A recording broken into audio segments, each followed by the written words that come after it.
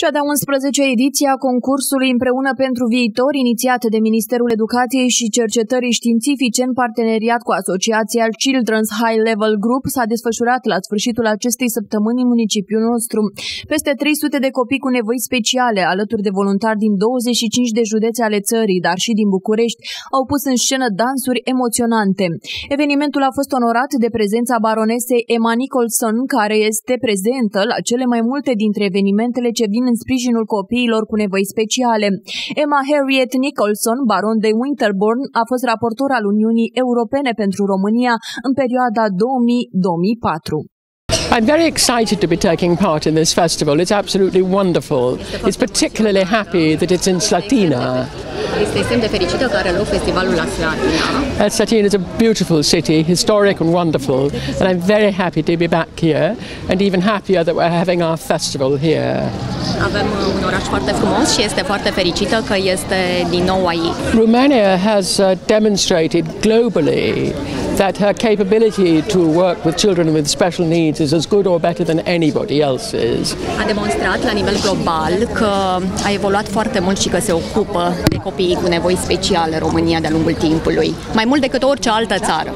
Emma Nicholson a lăudat modul în care România a evoluat în ceea ce privește sprijinul acordat copiilor cu nevoi speciale. Din acest punct de vedere, țara noastră se situează la un nivel avansat comparativ cu multe alte state. Este nevoie să insistăm asupra voluntariatului, dar avem totodată și datoria de a împărtăși experiența noastră și în alte țări care au probleme reale în lucrul cu copiii speciali. There are many, many countries who have enormous problems with special needs. They don't know what to do, or they don't care enough, or they haven't thought about it. Romania is leading the way now on this, so we have to share that knowledge.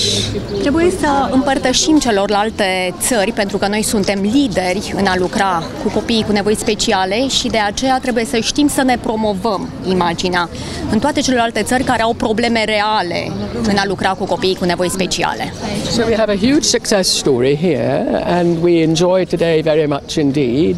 245,000 children are involved nationally, but that's not enough. We have to go further, go faster, be more and do more, but also we have to tell the rest of the world bit by bit and encourage them to adopt the Romanian system. Avem deja 45 de mii de copii instituționalizați de care ne ocupăm în mod efectiv, dar putem face și mai mult. Trebuie să continuăm, trebuie să implicăm și trebuie să fim un foarte bun model pentru celelalte țări, împărtășindu-le experiența noastră.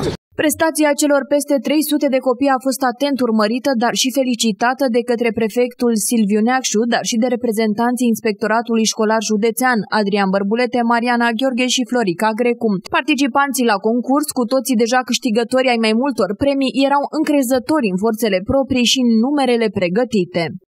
Venim din București și vrem să le prezentăm oamenilor un dans popular. Ce reprezentați? Uh, Hora moldovenească. Suntem din Breaza uh, și o să jucăm um, uh, dansul specific zonei noastre, dansul Breaza. Noi suntem voluntariați, o parte din ansamblul Flori de Maramureș și al Liceului Tehnologic Forestier din Sighetul Marmației și ne bucurăm că am ajuns la festival de dans împreună pentru viitor. Am fost și la satul mare și acolo am luat locul întâi și am ajuns cu mare drag aici. Deși toate dansurile au fost deosebite, elevii de la școala gimnazială specială Sfântul Nicolae și Colegiul Național Octav Onicescu din București au pregătit un moment care a emoționat până la lacrimi. Copii de gimnaziu care își petrec cea mai mare parte a timpului în scaunul cu rotile au fost ajutați să danseze și chiar să zboare. If I